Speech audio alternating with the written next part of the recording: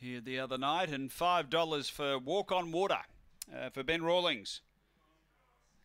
They're being placed in pretty quickly, actually. Race five. And uh, light is on. We're set to go. 395 the trip. Ready to race here at Murray Bridge. They're away. Uh, Jackie D leaves well. About third or fourth away. Spring Jose's trying to get the rail and push, but Bobby Soxer gets to the front and gets clear. Over second, Slippers T and getting to third, Spring Jose. Dropping back, Jackie D and then Walk on Water and Blazin' Jim. They're on the turn. Bobby Soxer led. A couple of lengths clear. Over Slippers T and then Spring Jose. It's still clear, Bobby Soxer and Bobby Soxer beats Spring Jose second. Third home, Slippers T. Uh, then Walk on Water. Behind those was Jackie D with Blazin' Jim. The time here, uh, it's the best so far, around the 22-4 mark.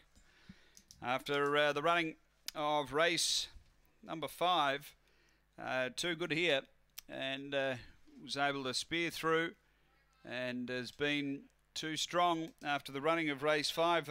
Bobby Soxer, Lauren Harris, George Farrugia, as she jumped, went straight to the lead and was too good. Uh, Spring Jose second. He was a bit ordinary away today.